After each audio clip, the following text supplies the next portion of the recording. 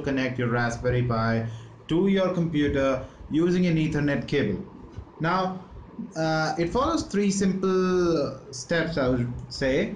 Uh, installing a DHCP server, running PuTTY, that's an SSH and uh, Telnet client, and using a remote access tool such as VNC Viewer uh, to access your uh, Raspberry Pi remotely and you can use Xming but here in this video we are using VNC viewer. And to download all these uh, things links are there in the description.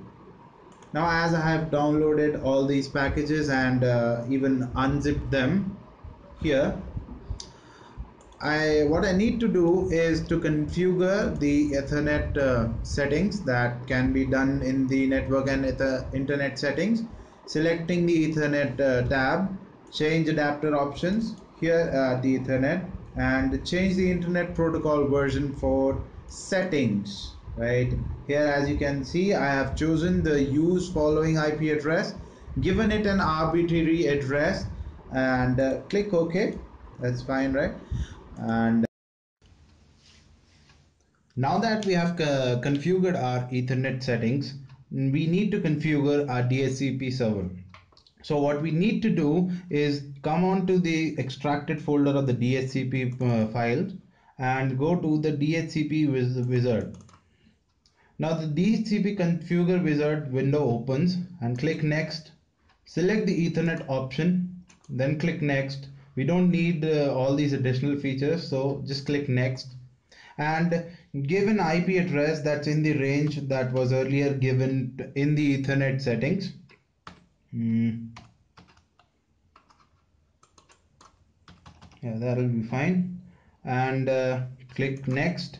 Then click the over overwrite existing files. Click next. Click yes.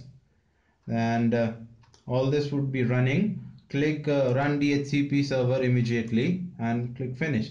And this server is running and you can click on continue as tray app. It'll go uh, in background right? So now that uh, our DHCP server is con now I can connect my ethernet cable to the Raspberry Pi. As you can see uh, it'll take some time to allot an IP address. As you can see to the corner an IP address has been allotted by the DHCP server to the Raspberry Pi. Right? So now I can use that uh, IP address allotted and uh, open PuTTY and give that host or the host name or IP address.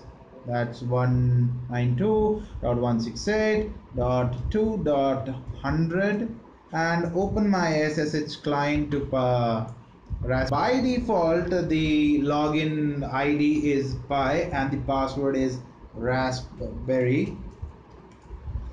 Now it opens up a terminal in PuTTY right? So firstly what I need to do is uh, install tight VNC server for the tight uh, for the VNC viewer to uh, view the uh, data that's been sent from the Raspberry Pi to my computer. So to do that, I'll do sudo apt get install tight VNC server now as a tight VNC server has already been installed in my system I don't have to do it but it'll prompt you uh, yes or no and you just need to click Y right? So now to run the VNC server I just have to uh, write a command VNC server uh, dash one uh, colon one right?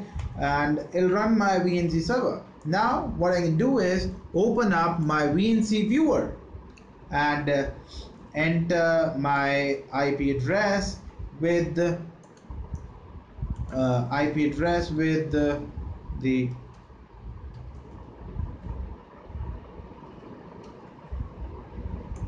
viewer window and just connect to it. Enter again the default password.